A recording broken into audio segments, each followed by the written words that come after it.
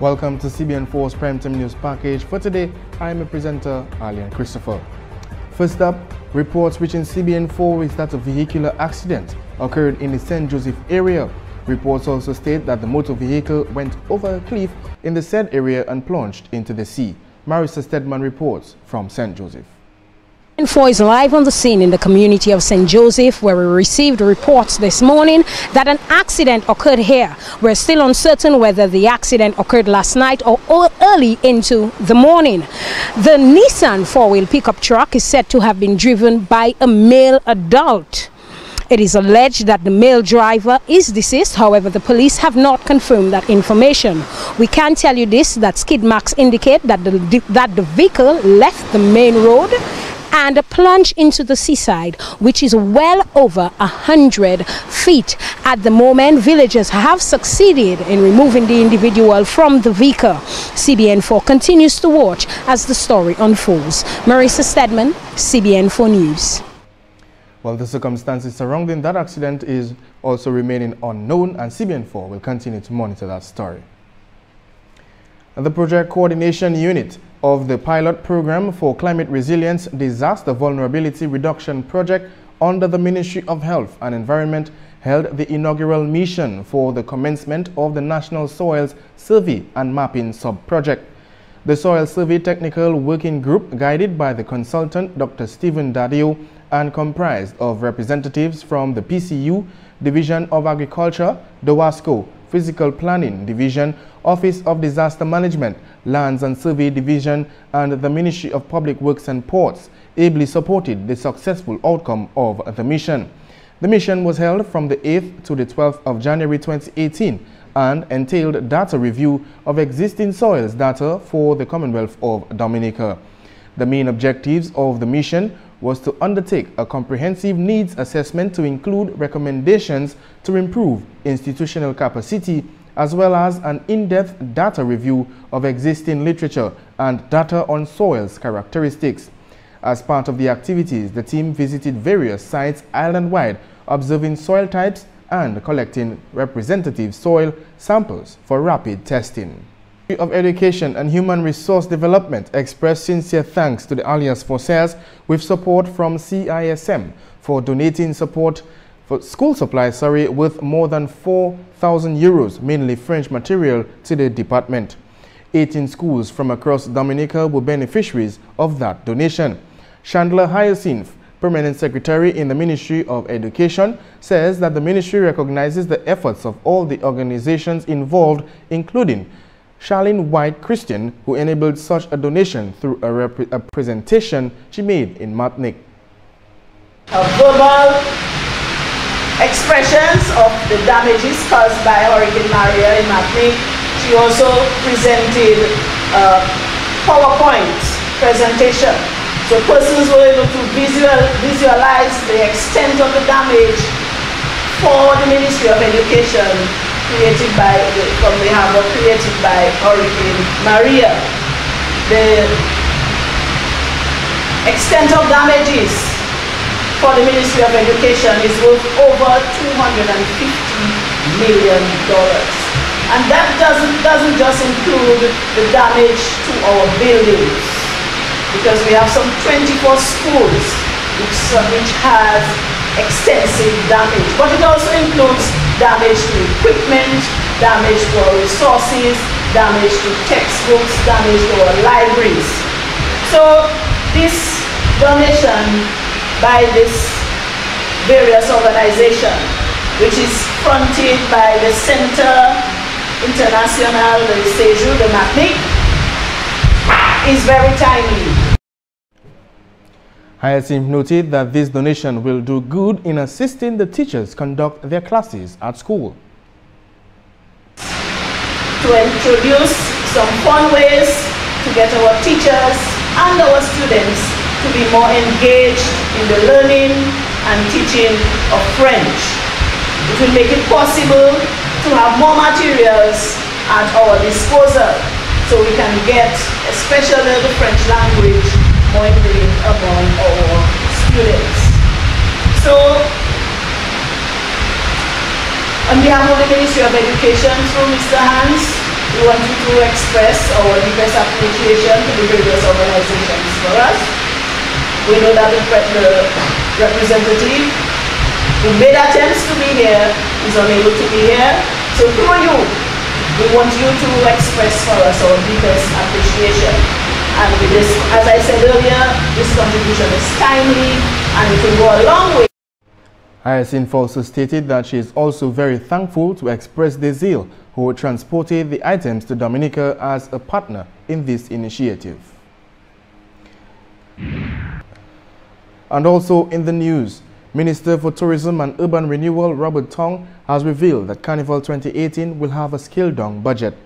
The minister notes that the recent budget for Carnival was well over $700,000 and that, he said, will be decreased to just over $250,000. To the budget um, for the last two years, our, our, the amount that we spent was about $720,000. Um, we have brought it all the way down to $263,000. So the budget has been significantly reduced, bearing in mind the, the, the time that we are in. But the minister also called on persons to go out and enjoy the carnival despite the huge cut in the budget themselves. We want family members to come down and to help your family members. And another part of it, of, of it too is that just having your friends and family here provides such a, a big moral um, boost. It makes you feel a lot better and gives you that encouragement to continue moving forward. And we'll be back with more news right after this break.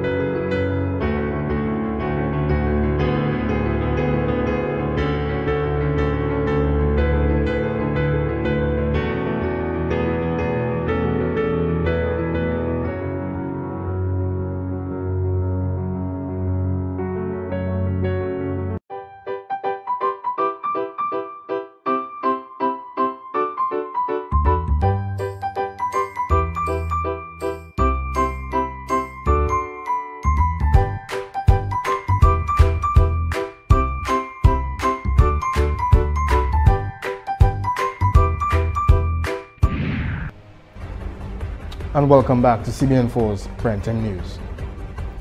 The community of Point Michel was left to mourn over 15 people after the passage of Hurricane Maria.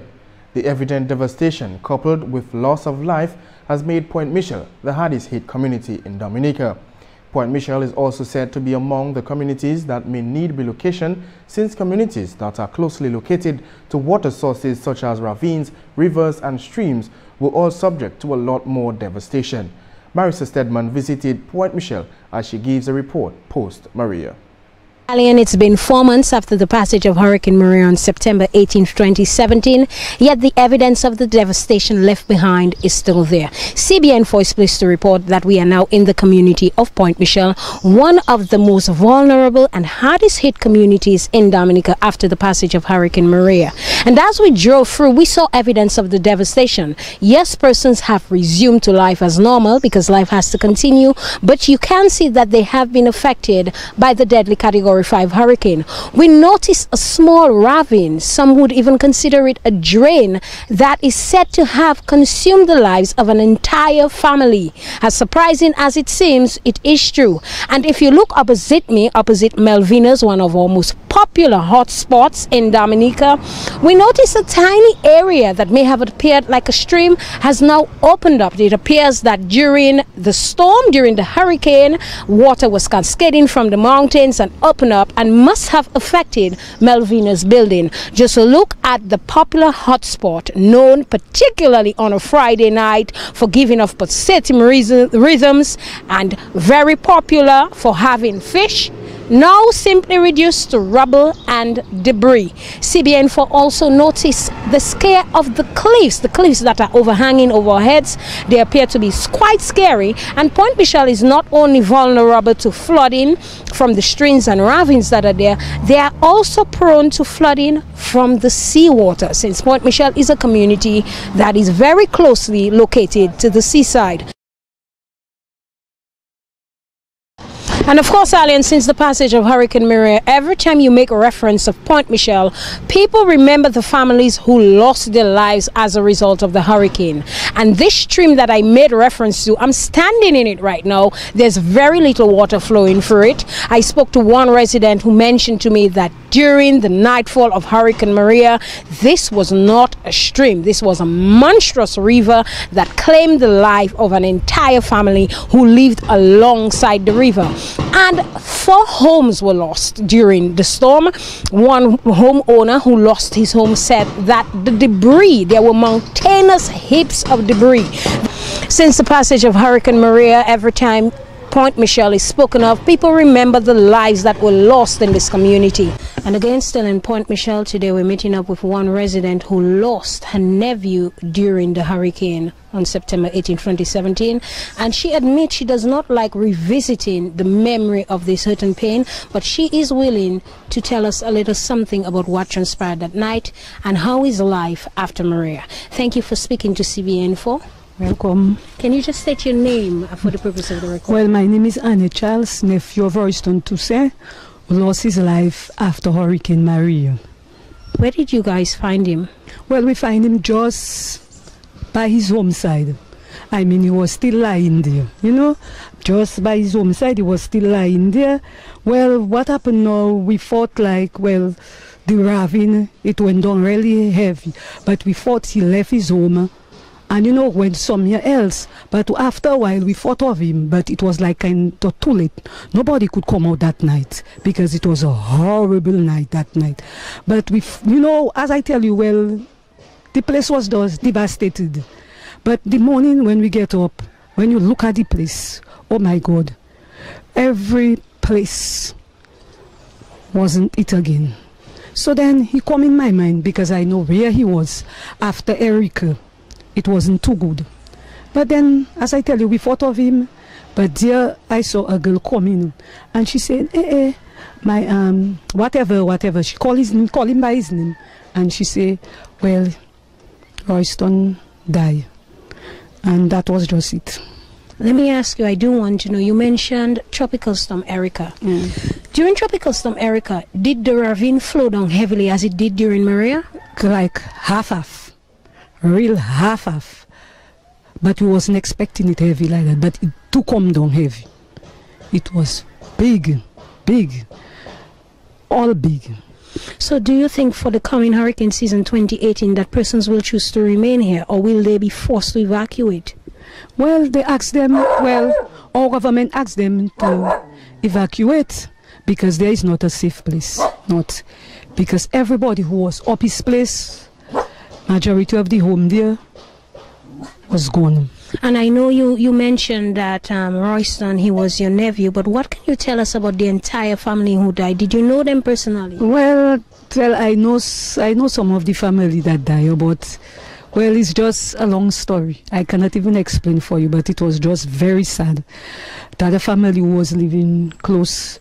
Um, mother with about four of uh, one to about her three kids gone and her grandchildren gone. So completely about maybe nine of them gone. In that home. And recently we've been getting a lot of rainfall. How does that affect you all who live in well, that area? Well, it really affects me. Every time I hear about the rain, I get scared.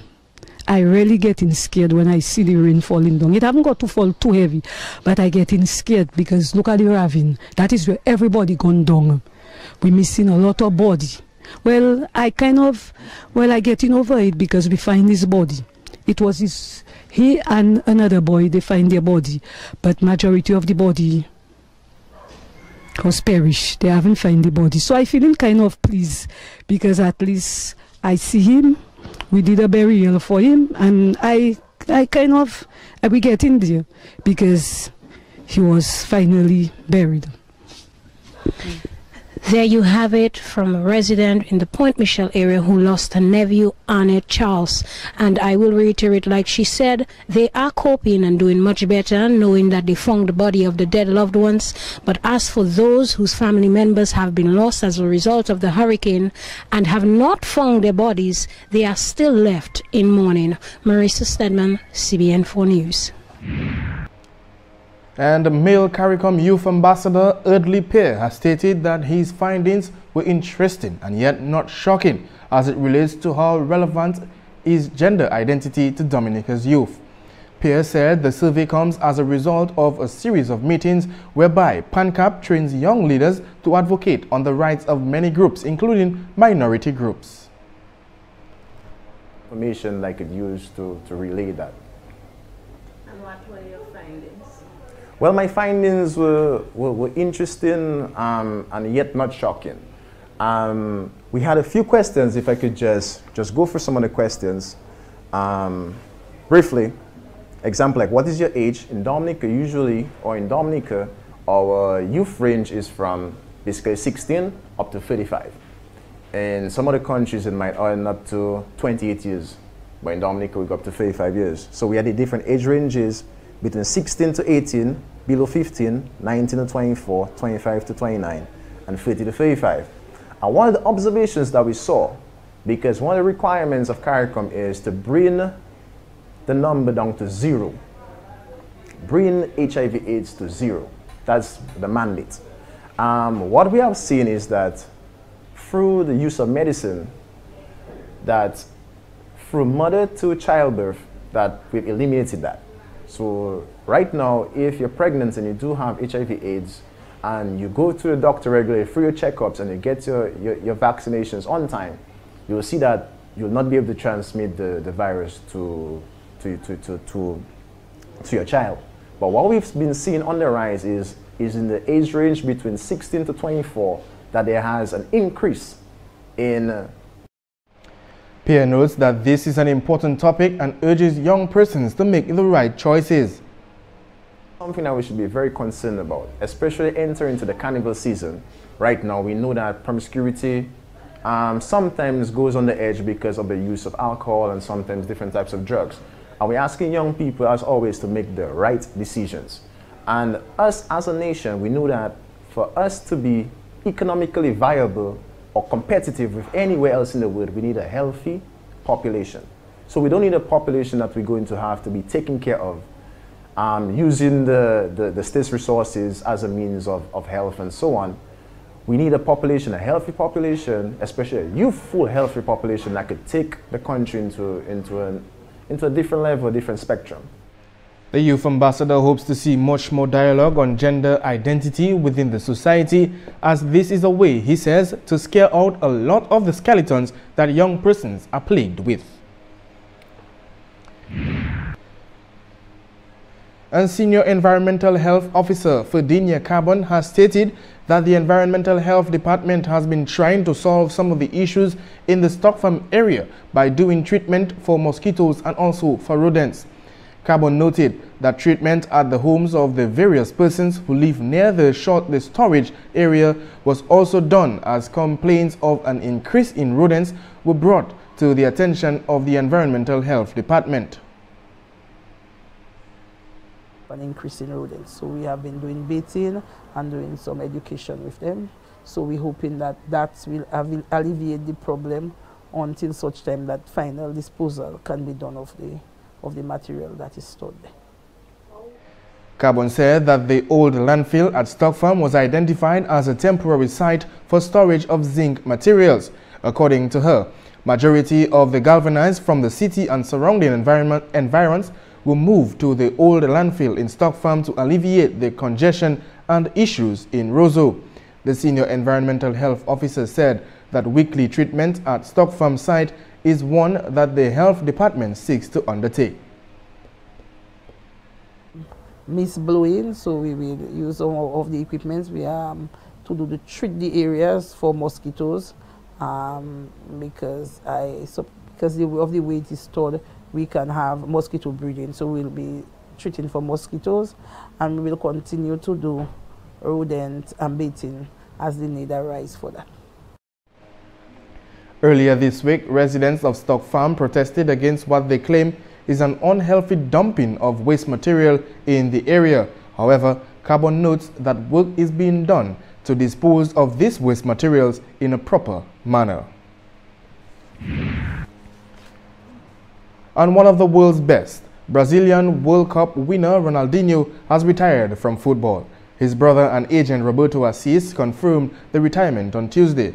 Ronaldinho was part of the triumphant Brazil 2002 World Cup squad, won the Champions League in 2006 with Barcelona and won the Ballon d'Or in 2005. Ronaldinho started his career at Grêmio in Brazil before moving to Paris Saint-Germain in 2001. After five years at Barcelona and two La Liga titles, he also had a spell at AC Milan where he won the Serie A title in 2010 and 2011. He moved to the Brazilian side Flamengo in 2011 before spells at Atletico Mineiro, Querétaro, and in Mexico and Fluminense. Well, that takes us to the end of today's primetime news package. On behalf of the entire CBN4 staff, I'm Alan Christopher saying thank you for watching and do join us again next time.